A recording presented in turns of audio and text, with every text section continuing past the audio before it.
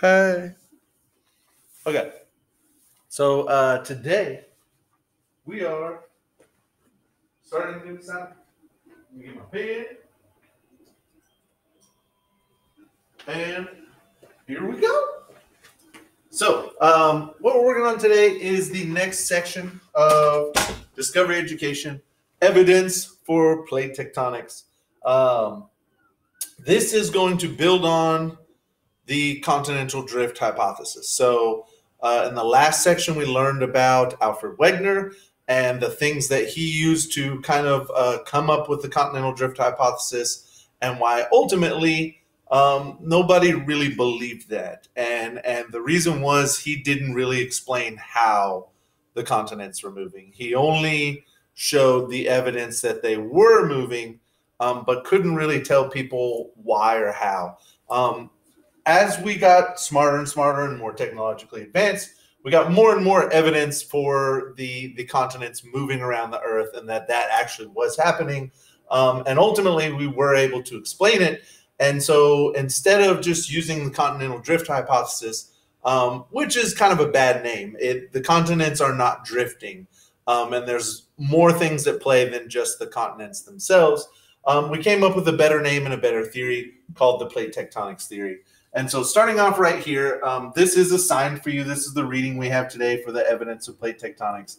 Um, starting off right here, we are going to be able to see some of the things that that led up to this better theory that's going on. So, um, the first thing that that takes us into the next realm is learning from the mid ocean ridges, um, and this kind of brings us back to a little bit of, of wartime history here.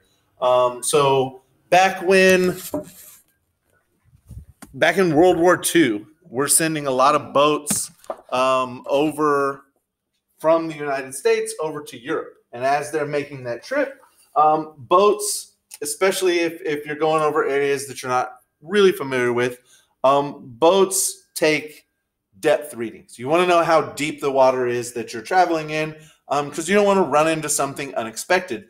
And so you have the United States over here. Let's just say this is the US. And then over here, you have Europe, EU. And we're sending warships back and forth from the United States to Europe. Um, and as they're going across the ocean, this is the ocean.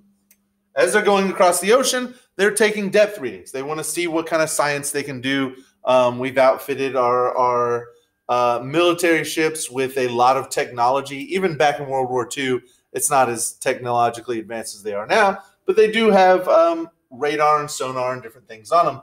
And so, as these ships are going across uh, the ocean, they're taking depth readings, um, and so they're finding out how deep the ocean is. And one of the things that that some people discovered as they went back and forth is always in the middle where your ocean is super deep and we just expect it to be super deep and flat, always in the middle, they would find some sort of mountain range. Um, they didn't really know what this was, but they knew in the middle here, instead of it just being flat all the way across, uh, you would have this mountain range. And it didn't really matter where you were crossing from the US to Europe um, they always found that that underwater mountain range right in the middle of the ocean. So it didn't matter if they went up north. Let me make sure I got this set up right. Didn't matter if they went up north and came from up near Canada over here to northern Europe. It didn't matter if they came south and came down from near Florida over towards the the, the northern tip of Africa and and Spain. Um, it didn't really matter how far north or south they went they always passed this mountain range. Um, and so this was the discovery of mid ocean ridges. Um, and mid ocean ridges play an important part in the theory of plate tectonics and, and our understanding of it now. And so learning ab- about mid ocean ridges was kind of a really big deal. So as you read through this, they talk about mid ocean ridges and what's happening at the mid ocean ridges. And essentially, what we noticed is that things are separating. um, we we have these two pieces of the Earth's crust that are moving further apart. How do we know about this? One of the things that lets us know that they're moving further apart is the magnetic field. Um, as rocks cool, they have uh, minerals in them that can be magnetic, like iron um, or, or magnetite.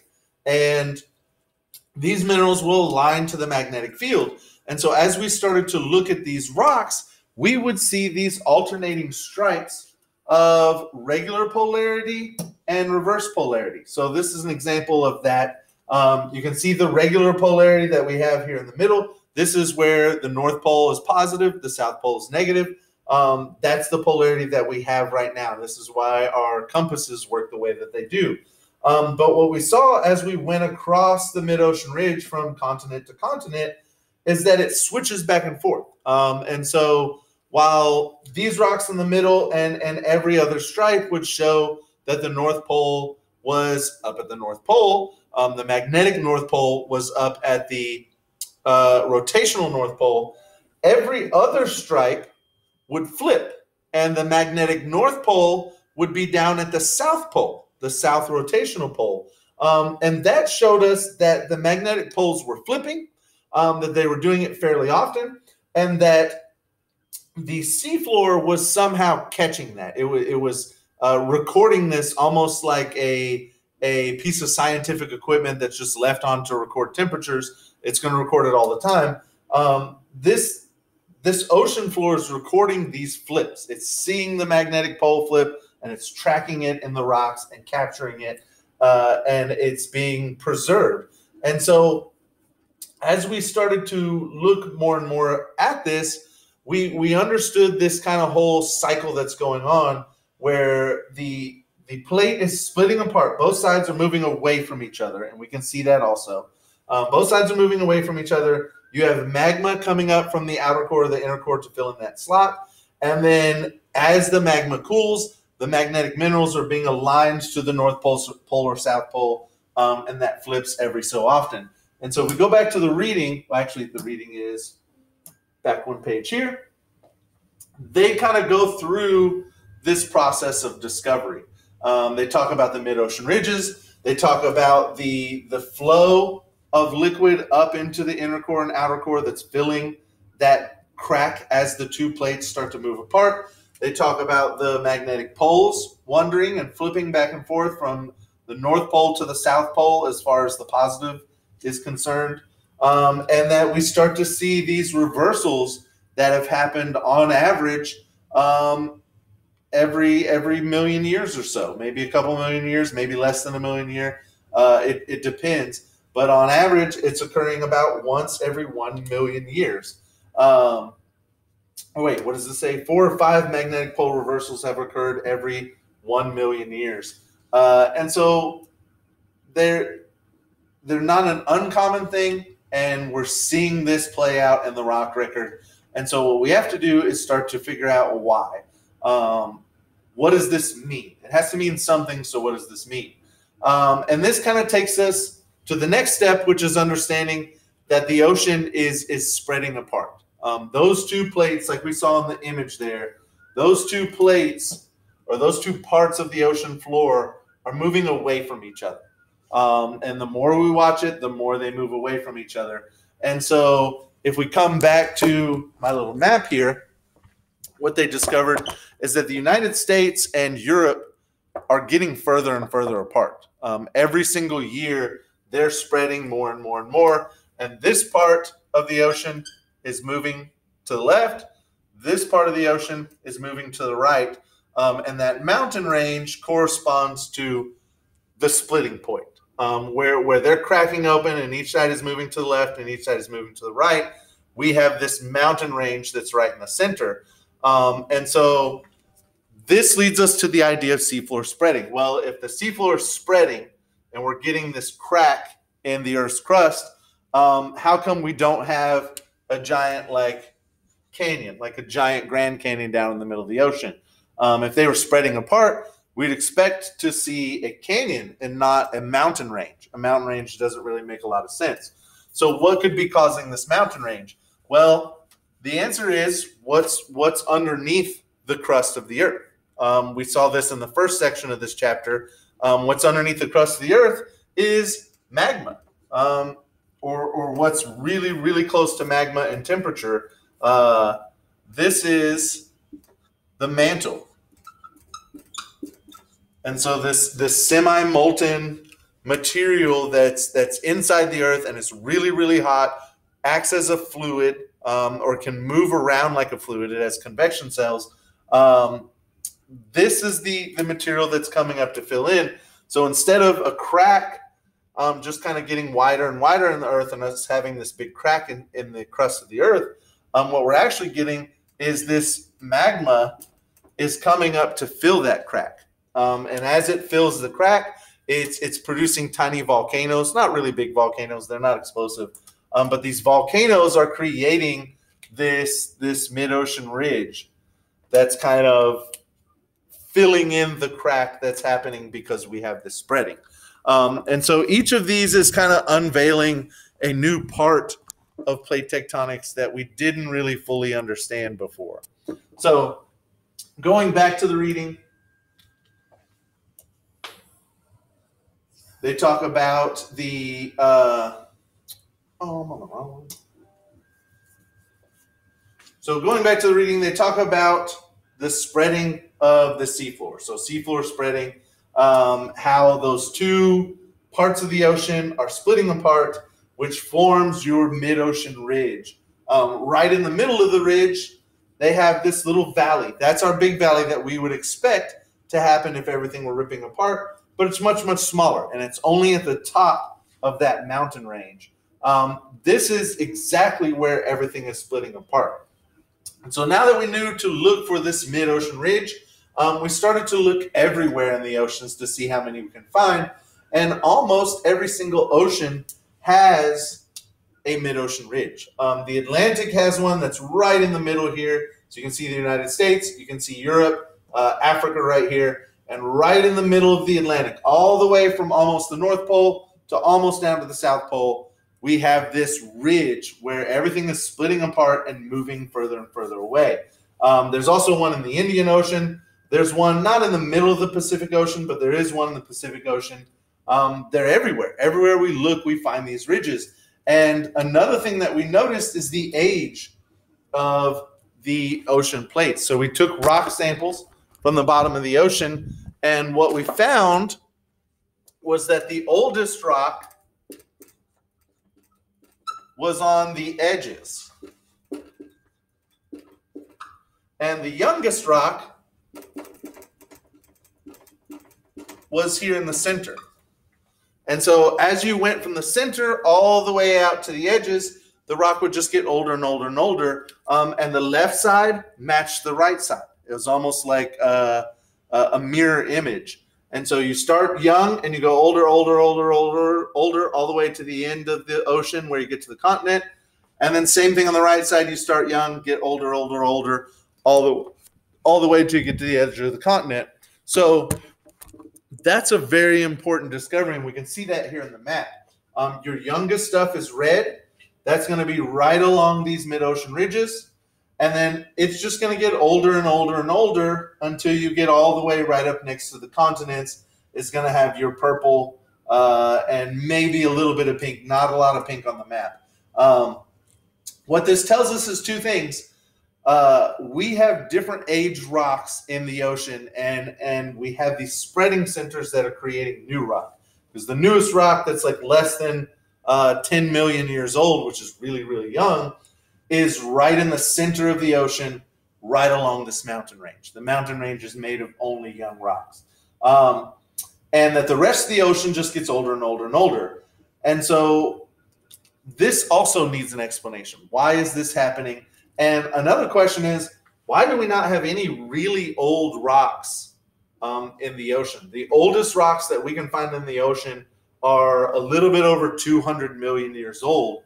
Um, and so where the continents are all billions of years old. We can find rocks on the continents that are easily 2 billion, 3 billion years old on every single continent. Um, why is the ocean rock not any older than like a quarter of a billion years old? Um, you know, 250 million years is, is about as old as we get. So, why are the oceans much younger than the continents? That needs another explanation. So, as we go to the next page, we will see that we start to see some more evidence for what's going on here.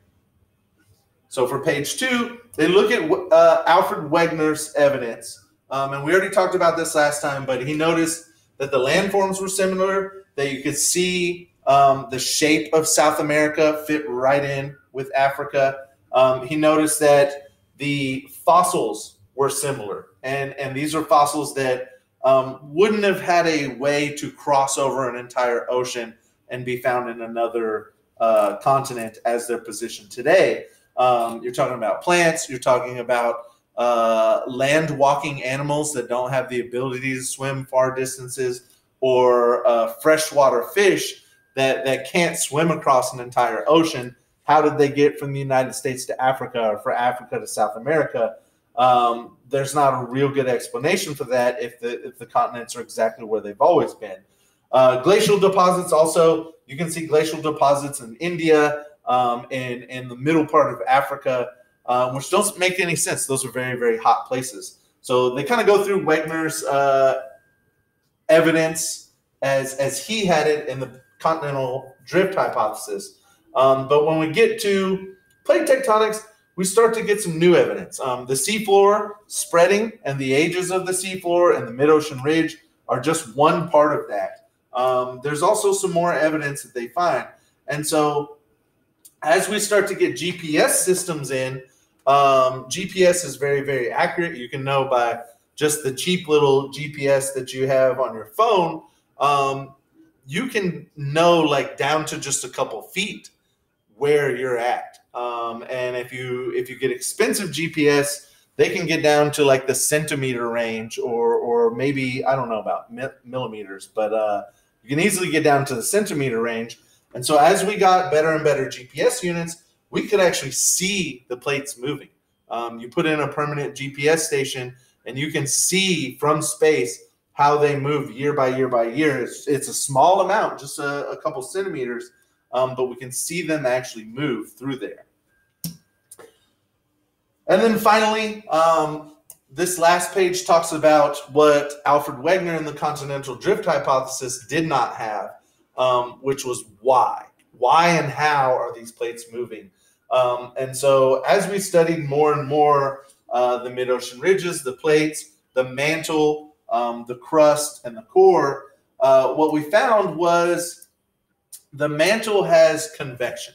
Um, there are things moving around inside the earth, large uh, bodies of melted rock or close to melted rock um, that are going to rise to the top as they get hot.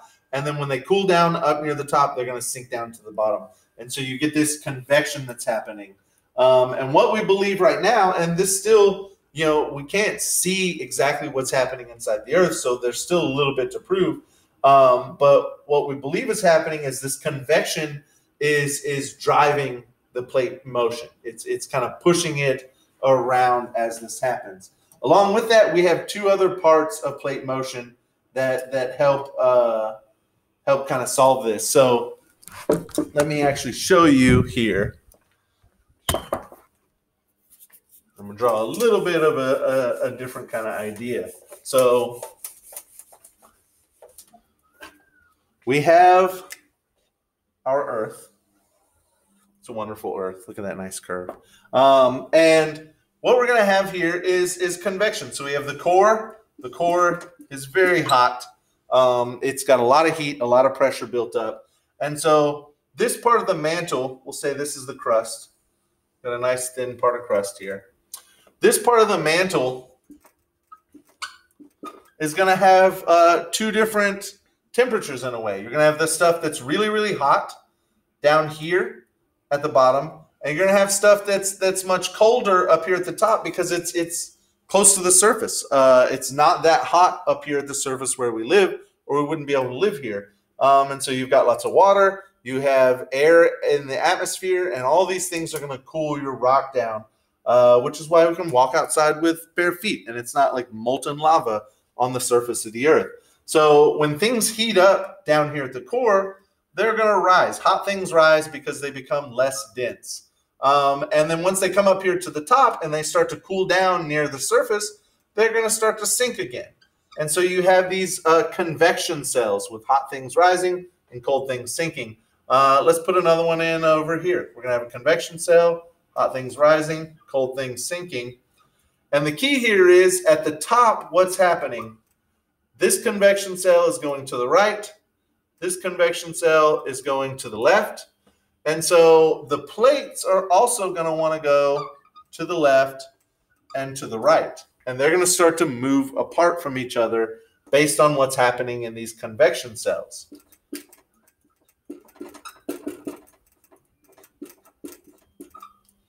And so the crust here in the middle is going to start to split apart. Um, and, and what's going to be available to fill this crack in the Earth's crust now? Magma, magma from the mantle.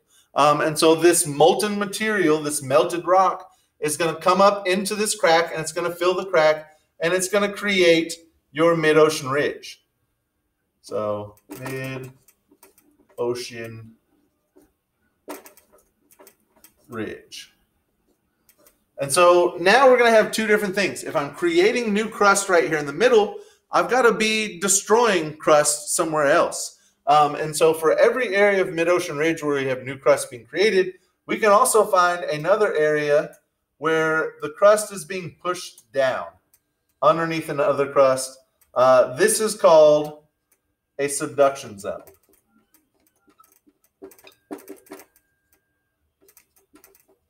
And this is where a plate is being subducted or pushed down. And once it goes down here into the mantle and starts to get hotter and hotter and hotter, what's it going to do? It's going to melt.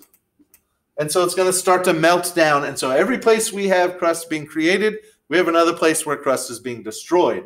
Um, that's part of the theory of plate tectonics is if you have anything being created and not being destroyed, your earth is going to get bigger and bigger and bigger. Um, or on the other hand, if you're destroying more stuff than you're creating, the Earth is going to shrink and get smaller. We don't see that happening. Um, the Earth is staying the exact same size. And so what's happening is for every bit of plate we have created, we have more destroyed. And this is where the other mechanism comes in that helps to move the continents. Let's say this is a continent. Uh, this is the US. And gravity is is part of that. And so as this plate starts to get subducted, what is gravity going to do to this piece of plate that's that's being pushed down into the earth? Gravity is going to pull on. And so gravity is going to pull on it down this way. Um, for this bit of plate that's kind of sticking up a little bit higher because of this mid-ocean ridge, gravity is going to push down on that and try to make it go downhill. Um, and so we have these two terms that they introduce in the book called ridge push and slab pull. And so you can see those right here. Ridge push um, is just gravity pushing down on the plate and trying to make it go down. They also have slab pull. Um, and this is like the slab of earth kind of falling down inside the earth, and gravity is trying to pull it down even further. And so ridge push and slab pull combined with that convection cycle that they mentioned just a little bit higher up, the convection cycle, is going to be what causes your plates to actually move. Um, and so we're kind of to the end here. Uh, this is going to require a little bit of reading, so make sure you keep this this page open. But let's take a look at the assignment and see what kind of uh, what kind of questions they have here for us. So actually, we're going to use this one. So number one, there's only it says there's only one question, but there's actually four questions. Uh, so number one, summarize the process of seafloor spreading, making sure to consider the following points: where does seafloor spreading occur? Um, identify the geologic feature and the plate boundary type. So where does seafloor spreading occur? It occurs at the mid-ocean ridges. Um, that's that's where your seafloor spreading occurs. They mentioned that on the first page. The mid-ocean ridges is where that happens. Um, and what kind of plate boundary is it? They haven't really gotten to plate boundaries yet, but that's divergent. Um, divergent is going to be where it's spreading apart. And so divergent plate boundaries in the middle of oceans, that's going to be where your your mid-ocean ridge actually forms. Um, How is seafloor spreading related to the recycling of Earth's crust? Well, seafloor spreading is one half of the recycling of Earth's crust. Um, for every new part that's created at the mid ocean ridge, I have an equal amount that's destroyed at the subduction zone. Um, and if things get recycled, that's one of the reasons that we don't see any oceanic plate that's very old at all. Um, the oldest, like we saw in the reading, the oldest oceanic plate is only like a quarter of a billion years old, um, like 250 million years old. Not very old at all. It's very, very young.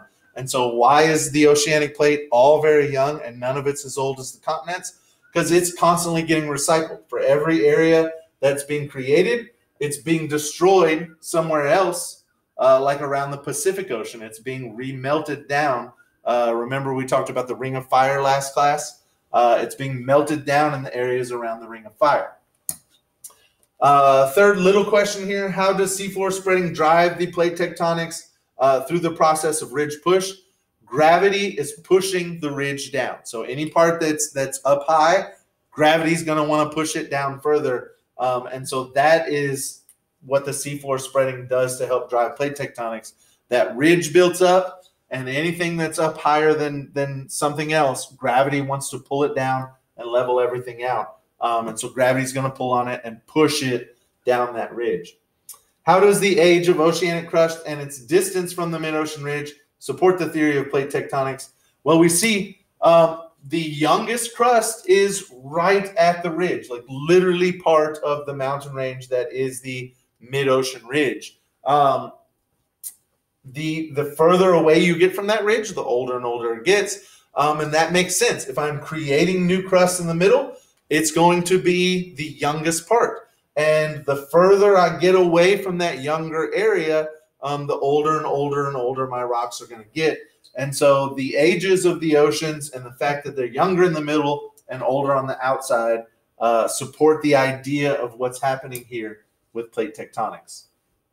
So, question number two describe five examples of evidence that supports the theory of plate tectonics. Well, we have the four that Wegener has. Um, the shape of the continents, which the shape of the continents isn't really a great one. It shapes don't necessarily mean that things fit together. Um, in this case, it, it, it is supported by other evidence, but maybe not the best idea. Um, so we had the shapes of the continents.